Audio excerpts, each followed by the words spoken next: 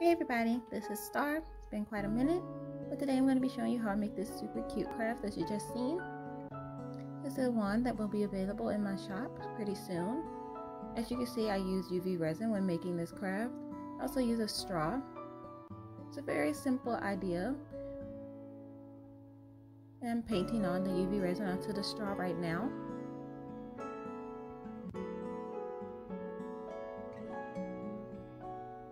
Then once that's done, I go ahead and I cure it. I forgot how long I cure it for, maybe like a few few seconds, maybe 30 seconds, and then I do my second coat.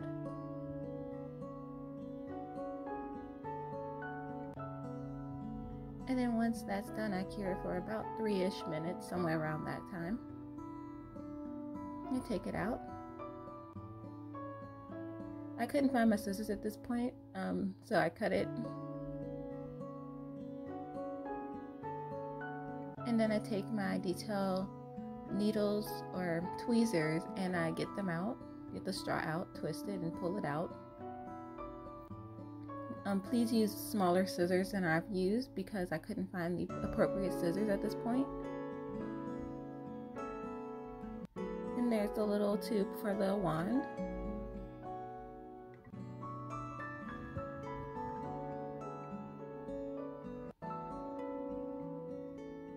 Here I'm trying to figure out what bead I want to use on the end to close it off with.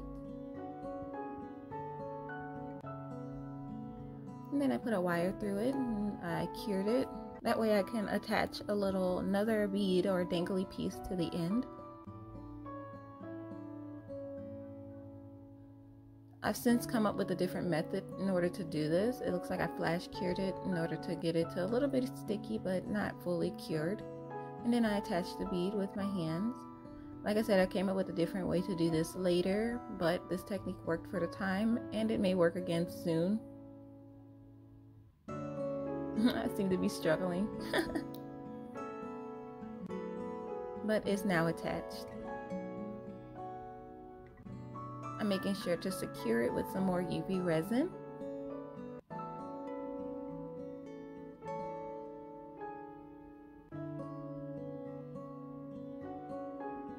Then I'm filling it up with some tiny beads that I have. White gold clear. That's all I have for right now. I need to find more beads that are small enough to fit inside of these tubes because I would love to do other colors but this suffices for now.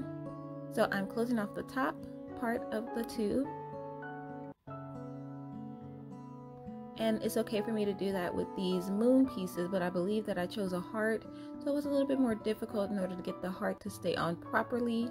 You have to put down the UV resin and then cure it. Uh, the heart is a little bit crooked but it's okay. You can't really tell once the entire piece is completed.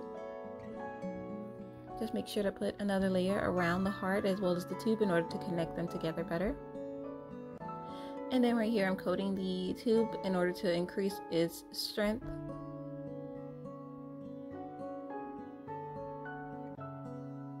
And I'm gonna cure that under the UV light. As well as cure it under my UV nail lamp. Right now I am making a peach resin piece. It's gonna be a shaker piece.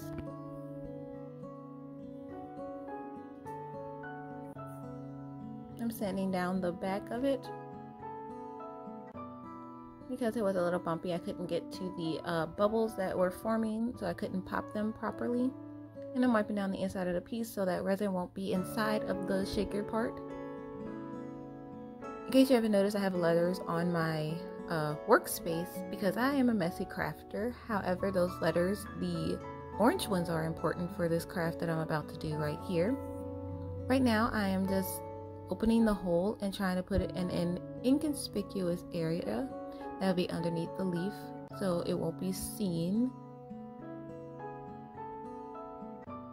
Trying to file down the back a bit more. But I do end up fixing that in the end.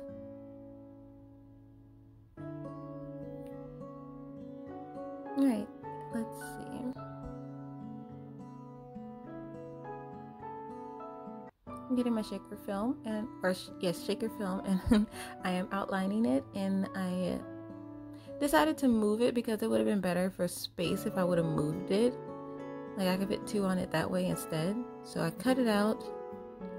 And then here I am filling the back in with uh, that UV resin in order to get rid of that ridge, I believe. Yes, and I'm then I'm curing it in order to help flatten out the piece a bit more. I am putting UV resin on the leaf in order to give it a more glossy feel because the um, the mold that I use is a matte mold. Alrighty, so here I am outlining it again in order to put the shaker film on. I'm cutting out the shaker film and then I'm wiping it off in order to remove any type of residue. Make sure to pull off the um, the film that comes on the acetate sheets sheets if you're using the acetate sheet sheets. And then I'm curing that. Flipping it over. Flipping it over. And then I'm putting the letters inside of it. You probably can't see from here. I'm not sure because I can't see it, but it says peachy because it is a peach. I was gonna put just put peachy, but couldn't fit all of the words in there. That's fine. Gonna flash cure that. And then I'm gonna put another layer of UV resin down in order to make sure that everything is absolutely secure. This also helps me with making sure that there that no baby oil will get behind the piece because the fact that the piece is raised a little bit on the back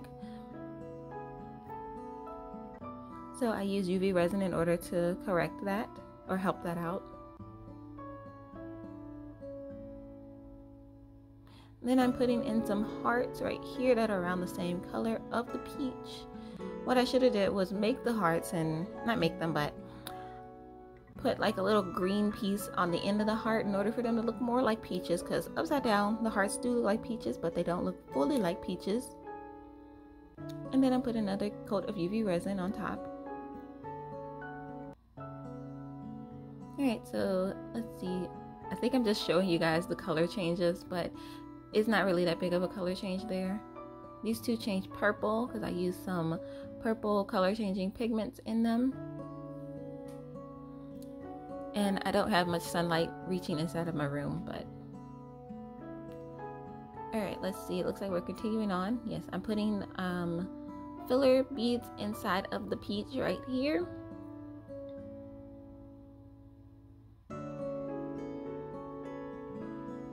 Some glitter in there too. I love glitter. A little bit of oil in order for the glitter to not stick whenever you put more oil inside. But I do still think that it's stuck. I can't, I don't really think that worked out the way that I wanted it to, but it's fine. It's not that big of a deal. I'm taking the UV resin that I put on the silicone mat and I'm outlining the outside of the piece I'm taking my other shaker film and I'm putting it on top and then I'm gonna press it down a little bit and cure it. See, I took my tweezers and I pressed it down to make sure that there is a secure bond around the entire piece. I like to dome before I put in my oil. Some people like to put in their oil and then dome. I prefer to dome and then put in oil because it just makes sure that my film is all the way down and 100% secure because I don't trust myself like that, unfortunately. So I'm putting it down, pushing it to the edges, and then I'm going to flash cure it. And then I'm going to put it inside of my nail UV lamp as well. Here I am showing you the process of me adding my little dangly piece here, I believe.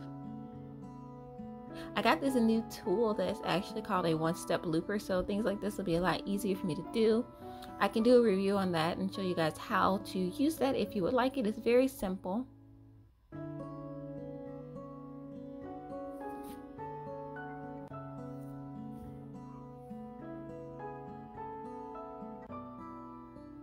I can't really see what I'm doing here because I'm off camera. Oh, I see. I'm putting on um, the bead on the bottom half. Yeah, that's what I was doing. Putting, adding the little dangly piece. And then I pulled out my little peach. That ring right there, I love that little ring that I have on my thumb. That is a very helpful ring for, um, what's it called? For bending the jump rings because you know how it hurts your hands if you use it. And it's relatively cheap compared to getting another uh, tool to do it. So I'm filling in my peach right here with more baby oil. I put a little bit of baby oil that has like some eyeshadow in it and then I put in more baby oil with nothing in it and I am wiping it off and putting a plop of UV resin right there and curing that.